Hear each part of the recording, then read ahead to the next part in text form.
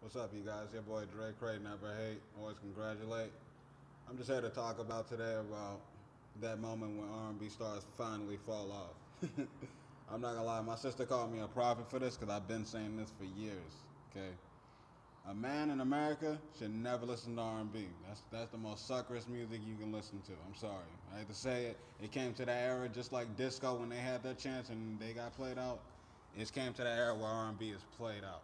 Okay, I'm sorry. I hate to say that. I know women loving this shit, but we in the era today of hard on hold movements. You know what I'm saying? And you know how that goes. And I'm not gonna lie, I kinda I'm no, I'm not gonna say none of that. I just it's just you know, things gotta change. Change is always good, you know what I'm saying? Obama said it said it best. You know, cause honestly, I mean, all this ridiculousness going on in R&B singing, they're honestly just ruining the name. You know what I'm saying? Not even on company, not the people that put them on. They're just ruining themselves. And honestly, I disagree with everything that they say. Because honestly, I'm going to say some names like Ginuwine, son, child support straight up destroyed him. I heard today Valen, Valen Vantino or whatever his name is. I don't know. I don't listen to none of this stuff. I just hear around, you know. I always keep in touch with the culture. But honestly, um, I heard that he got caught with a transsexual yesterday or someday. I don't know. They got him on camera running from the hotel, some shit, because he didn't want to pay or something like that. That's a shame. Saying you singing to all these women out here and you out here doing all this homosexual shit. I disagree with it. And it isn't right at all. You know what I'm saying? Honestly, I agree with these youngins with rap today because they're realizing that these women don't give a fuck about you. You know what I'm saying? At all. They give a fuck about your money. You got to think about when men first had their first baby mama. You know what I'm saying? Your first baby mama is your limit. That's the best you could do. Okay? Otherwise, the rest is all money. And that's all it is. I hate to tell folks that, but that's the truth. You know? They don't give a damn about you. It's all about your money, what you can get them, and what you can buy them, and where you can have them living at. All right? Because back then, your game, you got to remember, your game wasn't that swift. All right? It wasn't. Okay? You had the ugliest bitch doing the anything you want them to. You guys, let you little young motherfuckers, let this money go to your head too much. I think that shit needs to stop. You know what I'm saying? What else happened in R&B? Yeah, I heard that uh, Big Usher, you know what I'm saying? Always been a fan since the 90s. You know what I'm saying? But I, I did realize that he disappeared for a very long time. I didn't understand that. You know what I'm saying? I didn't know where he went. I mean, even though he came back on fire, you know what I'm saying? But uh, he um he came back on fire, you know what I'm saying? And uh, it was just full of shit. You know what I'm saying? Because at the end of the day, he fuck he uh fucking got herpes. Okay, and that's what all that brings. You know what I'm saying? They like I mean, it, I mean, it's only right though. We can't really blame the guy. He's a famous celebrity. He's a somebody. He counts for something. You know what I'm saying? And all the girls, of course, love him. But I mean, for him not to tell that lady that, that was kind of shady. You know what I'm saying? I mean, it'll never be the same for you to get on stage and see Usher.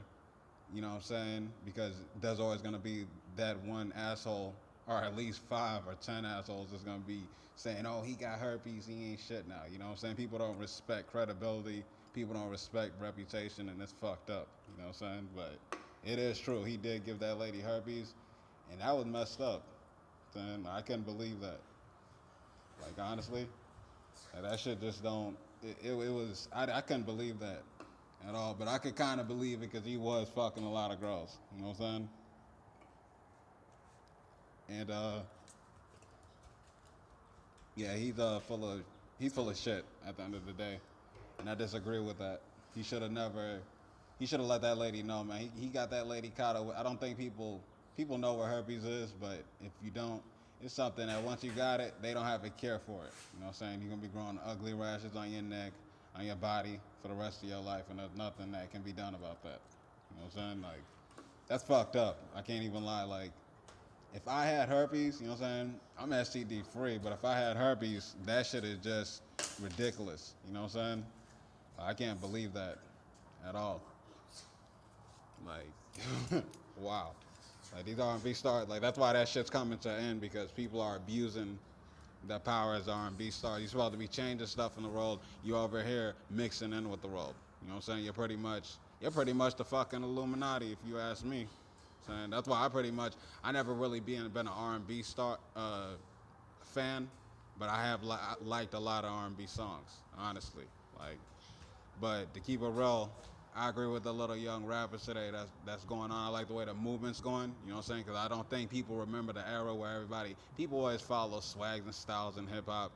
You know what I'm saying? They uh they you remember with the little era where they were wearing the little drug man t-shirts, you know what I'm saying? You see the cops Warner Brother, Rice Krispies and all that. I don't know because I never wore one. I didn't agree with it. You know what I'm saying? Then everybody's following the Cam'ron era where everybody was wearing pink. And I disagree with that. I never wore pink in my fucking life. And I think pink is for girls, and that's about it. Saying and uh, what else? What other era? When Lil Wayne came out, when Lil Wayne came out, everybody start trending. Everybody with the blood all of a sudden. Then everybody. And the South ain't even really known for no Bloods or no Crips. They make their own damn gangs up.